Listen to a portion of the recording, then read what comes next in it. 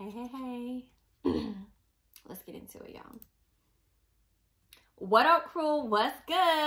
Are you guys ready for another episode of the Crew Book Club podcast? Yes, let's get into it.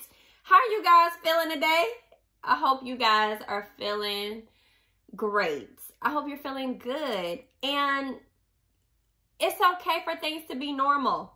I was having a conversation with somebody about being excited. And I was like, oh my gosh, I'm so excited. I'm so excited.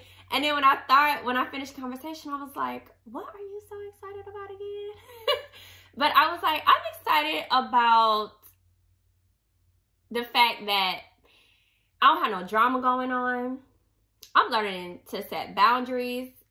I'm learning how to recognize when I'm having a moment of struggle with peace and I know what I need to do to get back in the right state of mind. That feels so good. Recognizing when I'm having a moment and knowing how to get out of it. Because a lot of us do not know how to do that. And this is why I do this pod to share how I do that, to share the books and having these aha moments and just being excited about normalcy, being excited about things not being chaotic. And I think that's a really good place to be in. Now, if you're not feeling great, that's okay too. Just don't sit in it for too long. And I think that's why it's so important to find things that brings joy outside of shopping and spending money because we'll do those things for a small gratification but be right back in that state of mind after the wear of that new purse or new bag goes away. That's why I think journaling, being in the presence of God, and therapy is top three. okay? Because when you start to heal from within, those other things, material wise, don't even matter. But anyway, I know that's coming in a little strong already, but I just want to always keep it real with y'all, okay? So being excited about nothing crazy happening is a good thing, okay? So let's get into who gonna check me, boo. God is, y'all. God is always checking us. I love a good check. Woo, it keeps me on my toes. It keeps me on point. It really makes me know that I'm in his presence. And I know God got my back, okay? God always has my back, regardless. So that kind of prompts for how the Believe Bigger um, day comes into play. Continuous covering was the one that I went back and looked at. And it's day 33. And the scripture for that day was Joshua chapter 9. I mean, chapter 1, verse 9. It says, Have I not commanded you? Be strong and courageous. Do not be afraid. Do not be discouraged, for the Lord your God will be with you wherever you go. Okay? Wherever we go, God got us. All right? She says in here, it's okay to be shaken. It's okay to grieve and even be shell shocked. That doesn't make you flawed, y'all. That makes you someone ready to um ready to receive supernatural revelation, support, healing, and focus. God doesn't abandon us the way imperfect people and unpredictable circumstances do. Okay? He gonna be there for us. People can disappoint us, betray us, isolate us. They can do whatever they want, but just know God is continuing to cover you. So I love how it was just like letting me know, you don't know who I am? I'm a child of God. You better, you better stop playing with me. And I'm going to continue to be strong and courageous out here in this piece. I'm not going to be afraid or discouraged because of the things that are happening to me. I'm going to keep it pushing. What is it? I'm going to keep it P. Am I using that right, y'all? if not, that's how I'm going to use it. I'm going to keep it P. I'm going to keep it pushing because God got me. Okay? All right. So that was the who gonna check me boo. God is, he always checking us. And, oh, before I forget, I'm going to say the prayer because I feel like um, it was really good. It says, Lord, you are perfect in every way. You are with me in this moment and guiding me deeper into your peace and power-filled presence. You hear that? Peace, power-filled presence. Ain't nothing like being in God's presence because it brings so much peace. I love it. So let's get into something else that I love. Ew, ew, ew. I love me some crew love. Just loving a crew. Hey, I just love crew love. And when I scroll, because I do be checking y'all, I love going to the review page and looking at the love that I received. And this week I received some love from KLab20. It says, amazing girl time. this podcast is so refreshing, encouraging, motivating, all while helping you get your life. Every time I listen, I feel like I'm having a conversation with my sister friends. Grab your journal or a glass of wine and catch all this good tea to becoming a better you. Yes, girls, grab your journal, grab your wine. Let's become better people. Let's become better versions of ourselves. You know, God turned water into wine. So it's okay to have the scripture and get checked and, and drink some wine, okay? I love that. Thank you for that review. Thank you for the crew love. I really appreciate it. Listen, I know I had somebody say, well, I don't have an iPhone to leave you a written review. We all know somebody with an iPhone. Okay, so whenever you with somebody, I need you to grab their iPhone, subscribe to my to the podcast, and then I need you to leave a review if you don't. And if you're on any other platform, definitely still leave five stars if you can. Comment, join a conversation, prompt a conversation. YouTubers, definitely subscribe and follow the page as well. And you know, you can always go to the Crew Book Club and on Instagram, fan base, um, what's we on? And TikTok. Yes, I got on TikTok thanks to my coach. But yeah, and we can communicate there. Anyway, thank you for sharing your crew love. KLab20, I really appreciate it. Thank you so much, love. Continue to listen and enjoy your time with the crew. All right. Now, y'all know we be on a go, go, go. One of my favorite things about podcasts is I can listen to them wherever I'm at. You know, super easy, super quick. And that's why I partner up with Audible because they have podcasts too, guys. They have wellness programs that you can go in there and check out, theatrical performances, comedy, and Audible originals. The best thing is the audiobooks. I know all of us don't have time to sit and read, so you can definitely go on Audible and do that as well. And if you go to audibletrial.com slash crew love, that's audible, T-R-A-I-L dot com slash crew love, you get free 30 days to experience um, their Audible premium program. So I'm telling y'all, you don't want to miss that, okay? I can't wait to listen to the Will book because that is in the pipeline. Not because of what happened at the Oscars. I literally had talked about doing that but before all of that even happened, okay? So I'm not jumping on no bandwagon. And even if it was, it's my prerogative. Okay, all right, I'm done. Let's get into the main topic of today. The book. The Bam Bam Bam. Set Boundaries, Find Peace, A Guide to Reclaiming Yourself by Nedra Glover Tawwab. Y'all, this book, I cannot. I I literally opened it up when I was talking to somebody to give them example on how I needed to say to set my boundary. And it worked. it really did work. So I really love that you can literally read quotes on what to say to people when they disrespecting your boundary. Okay. But anyway, we're doing chapter three. Why don't we have healthy boundaries? And chapter four, the six types of boundaries. Because then if we know the six types of boundaries, we can identify them and we can know how to handle them. So on page 48, which is the start of chapter three, and I remember telling y'all, each chapter has a scenario and story to bring it to real life. And she literally used clients she worked with, but they're not the real names. So while I'm reading it, just put your name in there if you want. okay? This particular story talked about Justin needed to learn how to acknowledge his emotional needs and allow others to be there for him. Oh, I'm gonna raise my hand on that. During his parents' divorce, he came to the conclusion that his needs were too complicated for others and that he was better at giving support than receiving it. It was clear that his relationship issues were product of an emotional neglect he experienced as a child. I feel like that's a lot of us. That's a lot of us where we just get to the point where We don't think we can our needs are that important. So then we just realize, oh, maybe giving support is better to to receive it. And you hear that saying too, it's better to give than to receive. But in this situation, we cannot neglect ourselves. And I like how she distinguished the difference between emotional abuse and emotional neglect. It says the difference between emotional abuse and emotional neglect. Emotional neglect is unintentional while emotional abuse is more deliberate. Mm. Emotional neglect happens when you don't receive sufficient emotional support from a partner or caregiver.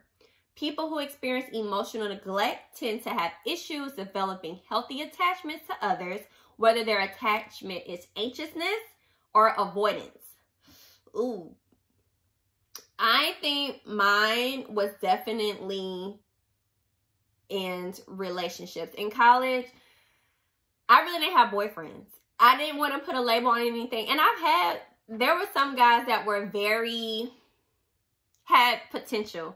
But from what I experienced as a child and what I saw, like, my mom go through, I was like, avoid relationships at all costs. I never want to get married. I never want to have kids. Like, totally didn't happen. but as I started to realize I had to experience things on my own, but I was definitely avoiding like serious relationships. I would cut dudes off so quick. We might go on a few dates or whatnot, but when they realized I wasn't emotional available to them, I wasn't your typical girl, they would disappear. And I probably, it's probably a good thing, but yeah, I was a little savage. I was a little savage, but it definitely showed that, um, thank God my husband was, um, he was strong enough to stick around, okay? So kudos to him for sticking around and loving me just as I am, but also helping me elevate and grow. Shout out to him. Love you, hubby. Anyway, let me continue. uh, we don't realize it, and I didn't even realize it until recently, that a lot of solutions to a lot of my problems are setting boundaries, and this book has made that very clear. And a lot of times it used to be like, it's them it ain't me. They need to check themselves. They need to change. But she debunks that in page 49 through 42. It's them, not me. For our relationships to improve, we assume that the other person has to change. But here's the accountability part. When we do set boundaries, our relationship change because we change what we're willing to tolerate. He. Oh, on that. On that. Okay? In this section, she says, we tried once and it failed. Okay.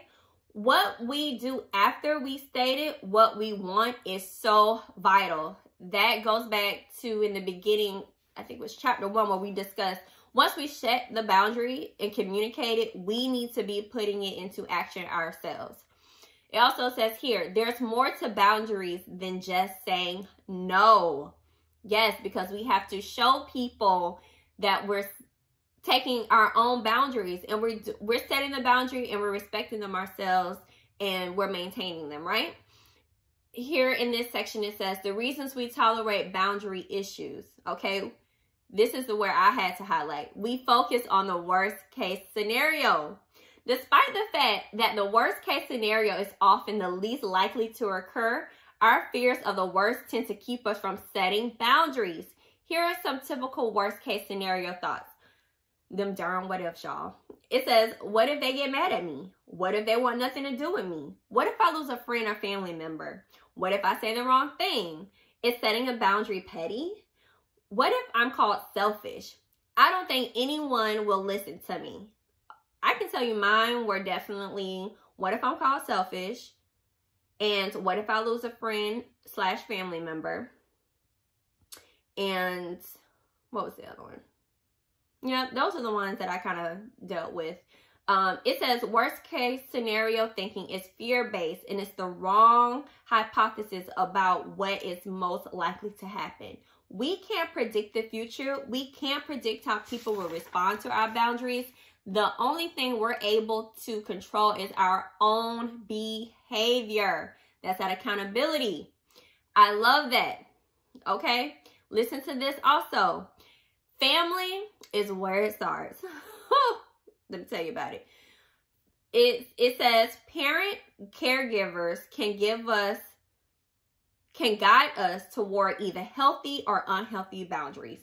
Mother, father, and others in the home environment, including siblings and extended family.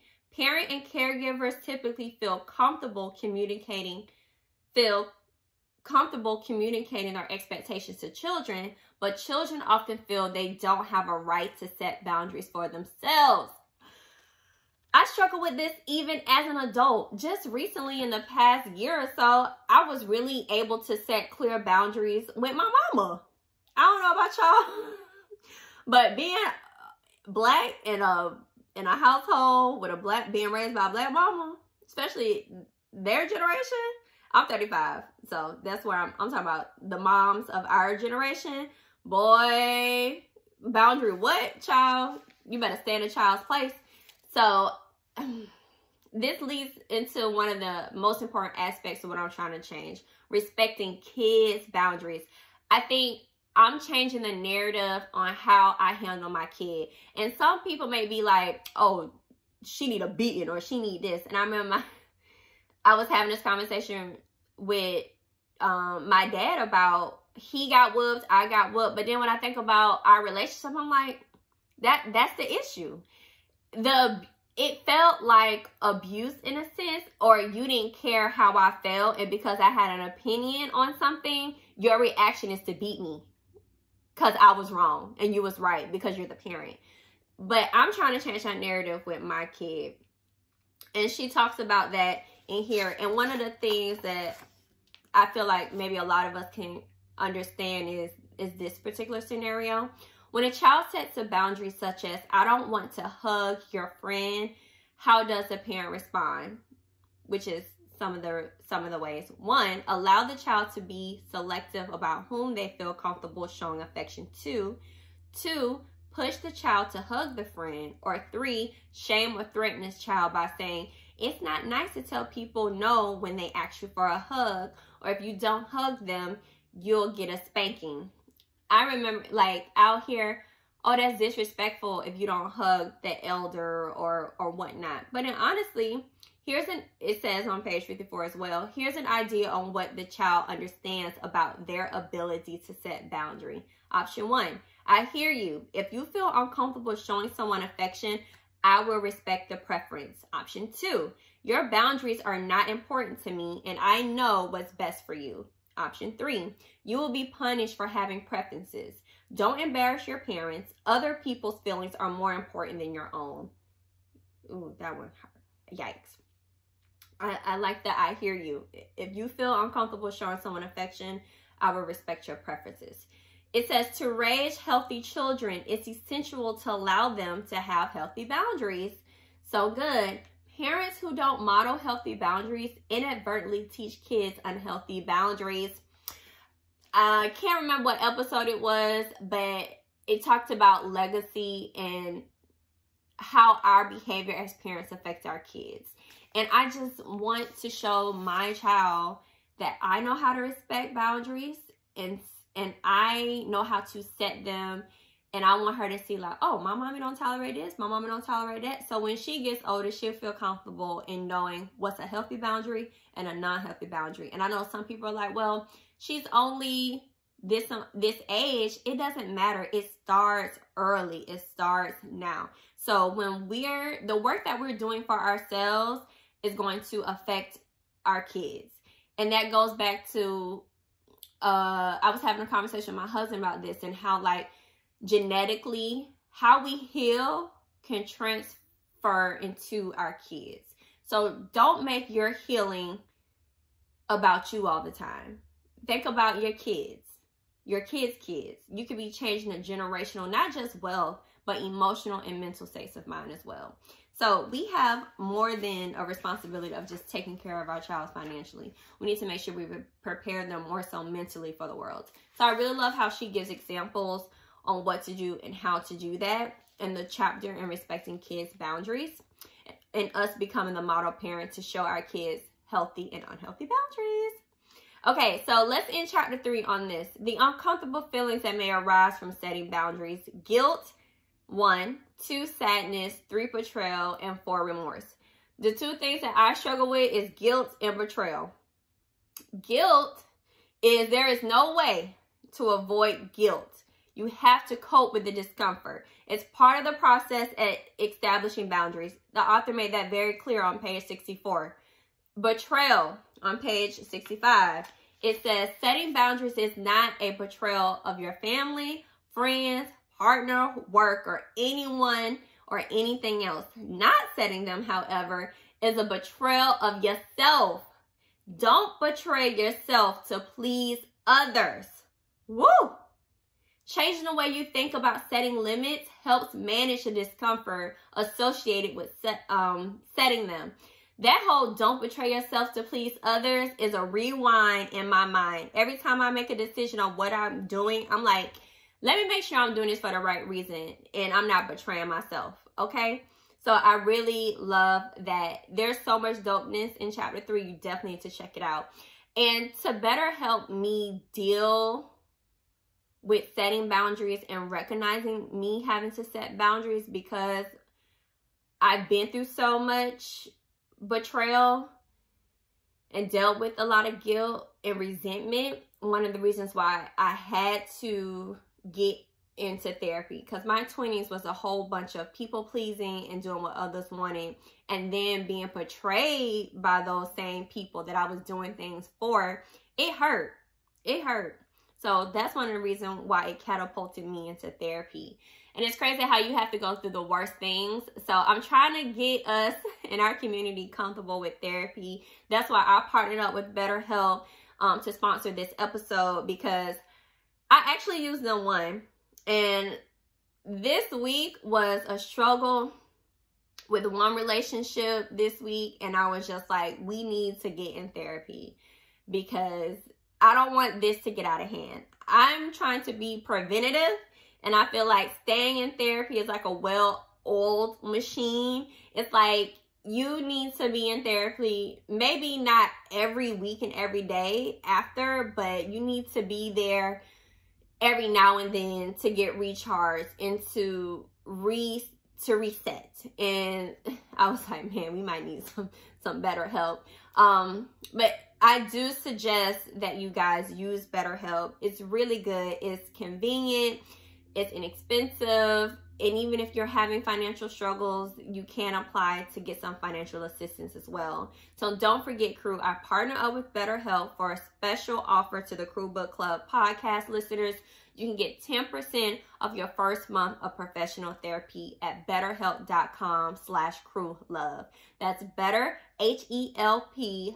com slash crew love. Okay, the link will be in the show notes as well. I just I just highly recommend therapy. I don't know how much I can stress it enough and how much it has helped me. Another thing is I want to say this. If you're in a relationship with somebody and they feel like they don't need therapy, you don't have to do it with them. Still go yourself because I experienced that. My husband do not think he need therapy or we need therapy. And I still went on my own. I was willing to cut buying certain things to go to therapy because that's how important it was. And now that I've had therapy and I'm continuing my education through self-help books and books like this, it has given me a level of peace that I cannot deny. So I highly recommend therapy. Some God in therapy, okay?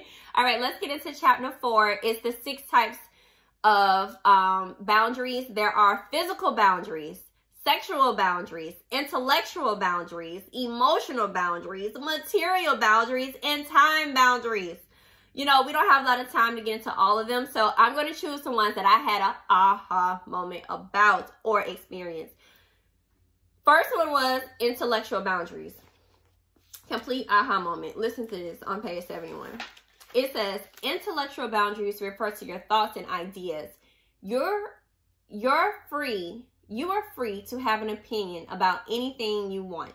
And when you express your opinion, your words shouldn't be dismissed, belittled, or ridiculed.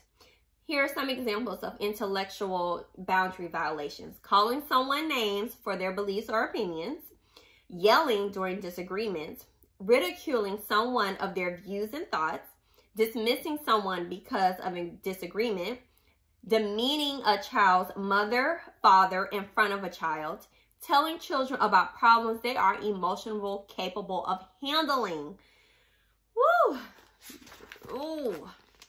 Here's some setting an intellectual boundary sounds like this. You can disagree without being mean or rude. I don't think this is an appropriate conversation to have with a child. I won't talk to you if you keep raising your voice. That was a mean joke. I'm offended. I just said something and you dismiss me. Why? And here are a few ways to honor your intellectual boundaries. If you're a parent, refrain from discussing adult matters with your child. And two, be respectful of people who are different from you. I'm going to tell you this. Being in a relationship, husband and wife, whatever your significant other, I think we've all dealt with saying something intellectual to our spouse or significant other and them like totally dismissing it or not acknowledging what we said. So I really like the I just said something and you dismiss me and asking why. Because if I know why you're doing it, then maybe we can have a conversation so you won't do it again. Okay? So I really I really like how the books break down different ways to do that. Okay, let's talk about the last one that hit home. Emotional boundaries. Listen to this. So when someone belittles your emotions or invalidates your feelings, they are violating your emotional boundaries. This can make you feel uncomfortable the next time you want to express your emotions. Examples of emotional boundaries. There's about nine of them. I'm going to give you my top five. One, emotional dumping, excessive venting, pushing someone to share information they aren't comfortable sharing, telling people how to feel, such as, you shouldn't be sad about that, minimizing the impact of something such as, that wasn't a big deal, gossiping about the personal details of another person's life. Y'all, I did all of those in some shape or form or fashion. And now that I know, I can actually recognize it from reading this book. So setting the emotional boundaries sounds like this. It gives us this example.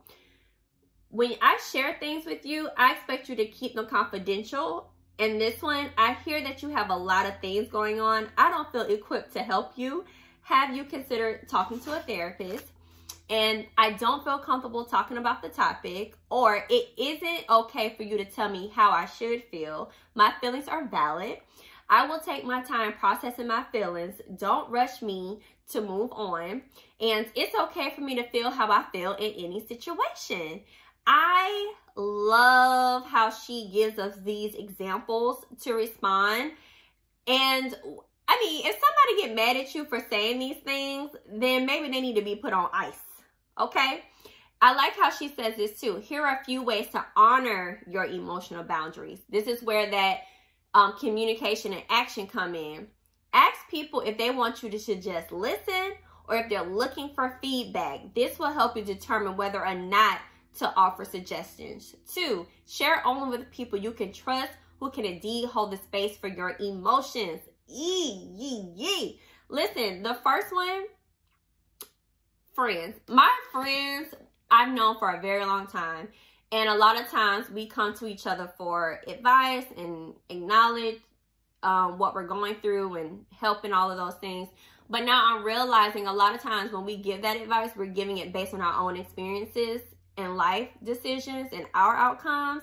And it's like, you know, maybe I need to maybe I need to fall back and maybe what they're going through is too deep for me to say because I don't want to be the reason of the projection of someone else's outcome, if that makes sense.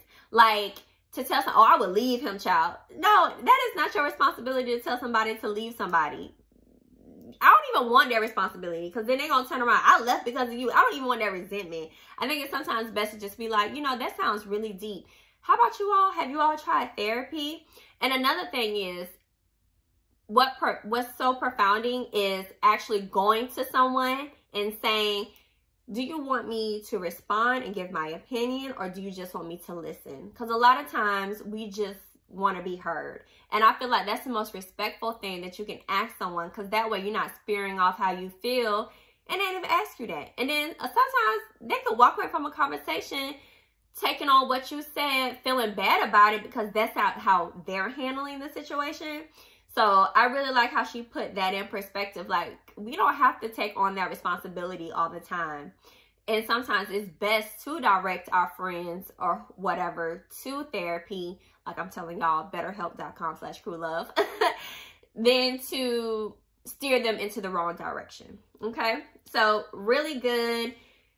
She talks about all of these boundaries, but one boundary that I want to discuss, and I want to make it the challenge of the week. The challenge of the week is to reclaim your time.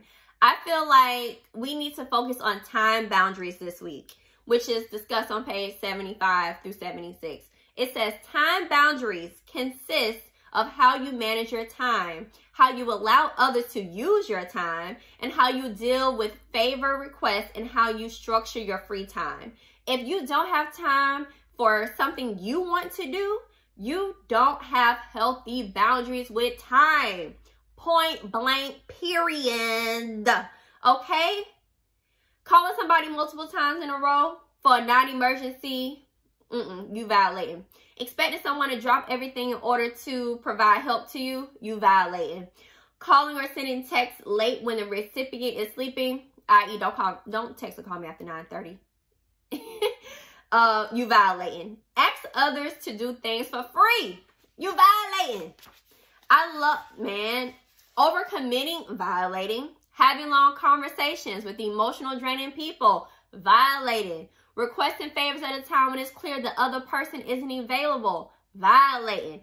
Asking someone to stay late at work for no additional pay, straight up violating. Accepting favor requests from people who won't reciprocate, violation. Don't be out here violating. So the challenge this week is to reclaim your time. If you find yourself doing a whole bunch of stuff for other people and you're not doing the things that you enjoy, you need to evaluate your time boundaries. So let's reclaim our time this week and focus on your time boundaries. So that is the challenge of the week. Reclaim your time. All right. So let's get into what would the crew do. Woo. Mm. I got two really good questions um, from our crew when it came to boundaries. One of them was about guilt. And because the author kind of dives into that in chapter six, I'm going to save that question um, for another day. Also, stay tuned for that. I got you. Now, this week question is about the parenting, which was perfect timing because we just talked about how a lot of those unhealthy boundaries come from when we were children. And the question was, as a parent, do you think of the long-term impact of your work-life balance decisions may have on your kids? And as an adult, do you remember or think about the work-life balance decisions your parents made? And do you think they shaped you as a person? I'm going to say this. There was times when I was young that I had visitation to my dad's house on the weekends, but I would constantly be left with my stepmom and my dad would never be there. And he, it's because he was in real estate and he was a firefighter. And I kind of felt like as a kid, you didn't prioritize me at all. Like at least you could make time to be here for me. But now that I'm older, I avoided real estate for the longest time because I didn't want to be like my dad. But in actuality, I took control on how I handle my work-life balance. I try to do everything during the day so when my daughter is home that I'm attentive to her. When I am at a when she was cheering, I'm present, I'm paying attention. And also I communicate in a sense of like, okay, from mommy to be able to do this, how can I involve her to respect the time for me to work and things of that nature? And communicating the responsibilities that come with being a parent, but also not overwhelming her in a sense. But I think like talking about time boundaries, I want to spend time with my kids. So I try to make it a clear boundary to be done with certain things by a certain time when she gets home so I can spend adequate time with her. I honestly think as people and as kids, we care more so about quality time than you being in a space with me and being on your phone. Honestly. Or really just honing in on what they're doing. And this actually, I think, was prompt. Um, I had a friend talk about an article about a lady who was like Fortune, um, got a CEO of a Fortune 500 job, and she really didn't prioritize her kids or whatnot, which is fine. But then it's like when she would go to their games, she would still be doing crossword puzzles and not paying attention. And I felt like, why you even went to the game? If I'm gonna be there, I'm gonna be attentive to my kid while I'm there. And that's that. So, yes, I don't think it has a long term impact on our kids if we're communicating with them. But from what my parents, what I went through with my parents, yes, it kind of hurt a little bit. But the older I got, I respected it and I decided I'm not going to be like that. And I was able to apply life and realize what was most important for me as an adult. So that was my advice. If you guys have any additional advice about that, holla at your girl. You can go to our Instagram at the Crew Book Club. You can comment on our YouTube channel. We can start a conversation there and tell me what your thoughts are when it came to if what your parents' work-life balance affected you as an adult and what do you plan to do different. Okay. So that was so good. Let's get into the quote of the week. The quote of the week comes from chapter four in the beginning of the the author of each in the beginning of each chapter, the author puts a quote, and this one was by Mandy Hale. It's stating, It is necessary and vital to set boundaries for your life and the people you allow in it. Okay, let me read that again. It's necessary and vital to set standards for your life and the people you allow in it by Mandy Hale. Listen, y'all, let's go out. Let's reclaim our time. Let's set boundaries for the people we allow in our life. Because you know what? We about that boundary setting lifestyle, okay? That's the new flex is setting boundaries. I love y'all, and I will see you guys next week uh, right here on the Crew Club podcast. Hey!